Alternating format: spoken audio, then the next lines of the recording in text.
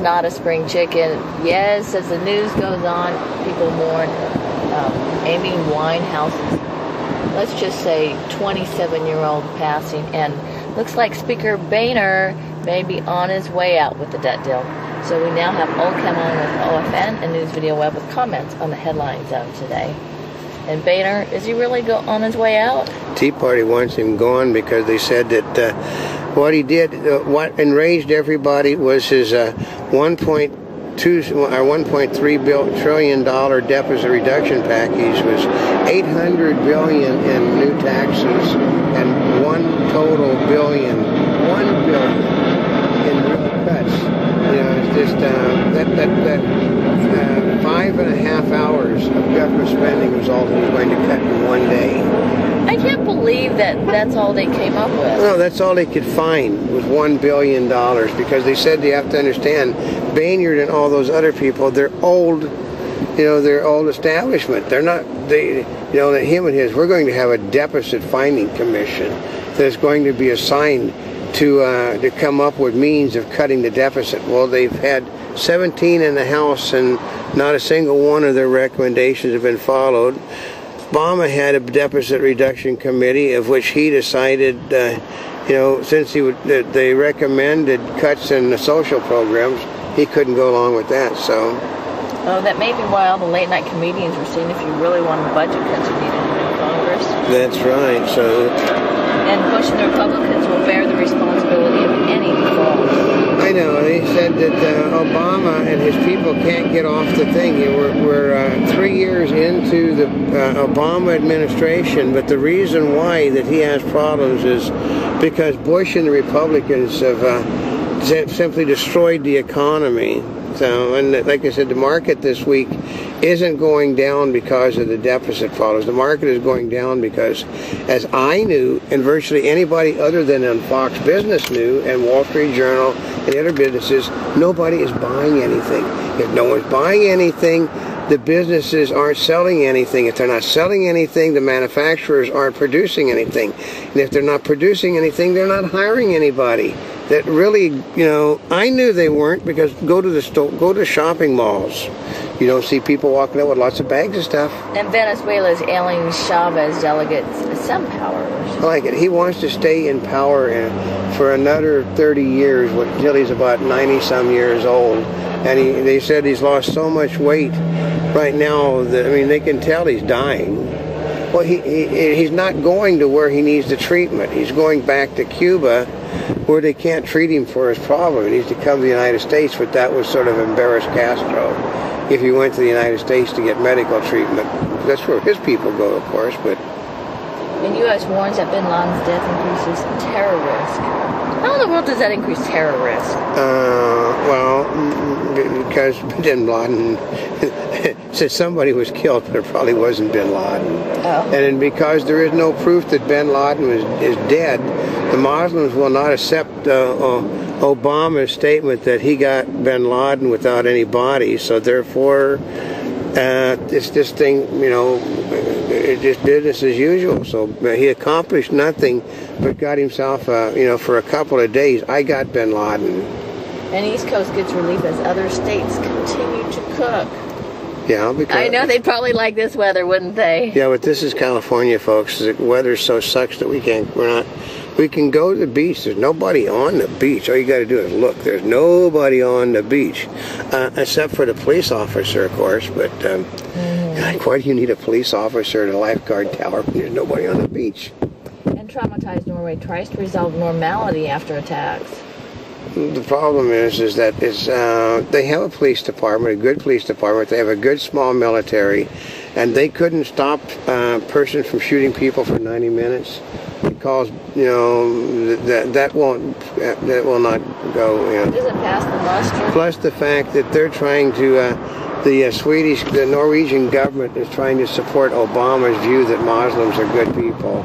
So you had to have a blonde-haired, blue-eyed guy that's making a point of telling everybody that he believes in Christ and he's a Christian that doesn't go to church and hasn't ever been to church as far as anyone knows.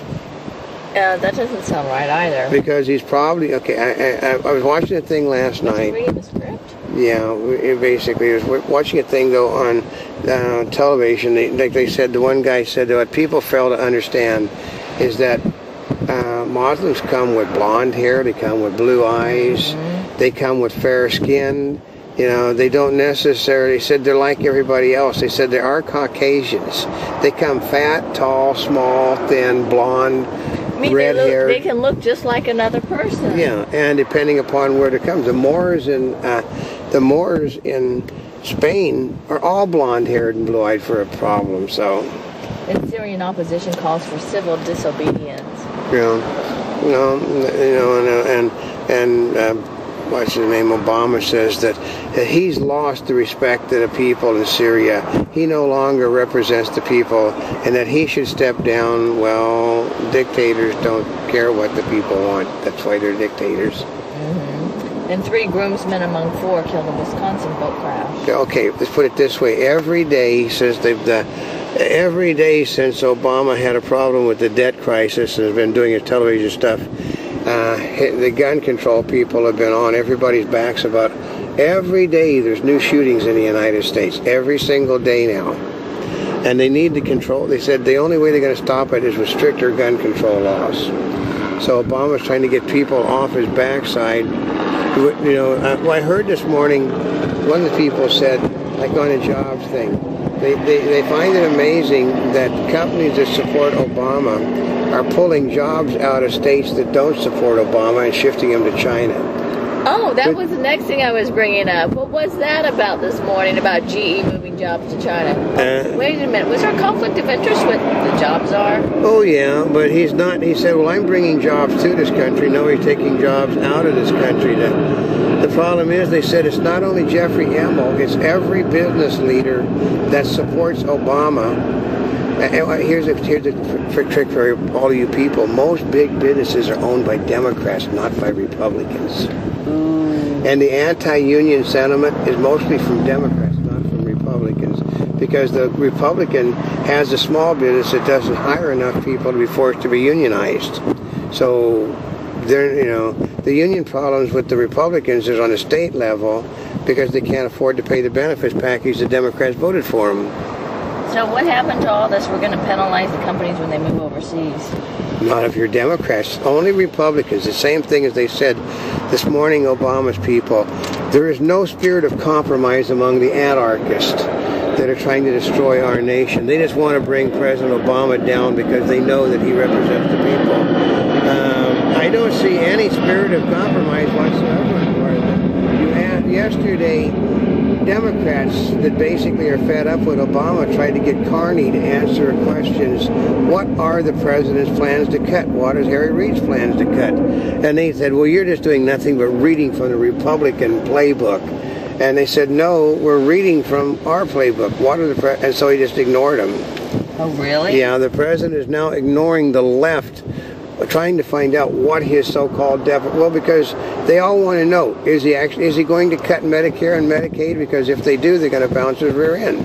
But he has no intentions. This is just a ploy, folks. I but, thought he was on that way out the other day. But they don't trust Obama. They said he can't. He's losing the swing states now too, and his speech, his appeal to the states, uh, the people to turn against the Republicans, basically resulted in basically a, a, normal day of calls to Congress, and a lot of the calls supporting the Republicans stop spending because the Tea Party people are more likely to tie up the lines than Democrats are.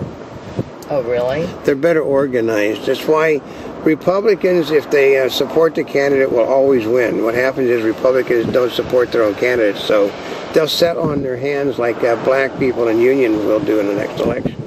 An Illinois congressman arrested during the D.C. immigration protest. I know, because uh, Illinois is passing anti-immigration laws because they got too many people taking their jobs from the union people. So. Oh, is that what's going on? I know, isn't that amazing that the liberal states? Okay, the state Illinois is flat busted. They raised taxes on business, which basically chased everybody out, chasing the businesses out of the state. So now they're going anti uh, anti illegal immigrant uh, legislation to try to keep the few people they have that are still living in the state working. So. And tropical storm kills at least 14 in the Philippines. I know. The storms are getting, you know, actually, here's what I said. The storms are not getting any worse than what they ever were It's just that people are paying more attention to the fact that storms are happening. And U.S. returns 33 Mexican troops who strayed into Texas. Yeah, they, they didn't stray into Texas. It's just it's, they came across the border hunting, and um, and I almost got away with it. But Oh, and a Monte Bubbleism from the Mark Twain of the Animal Kingdom. this one, you know, basically, if you're damned if you do and damned if you don't, then you might as well do.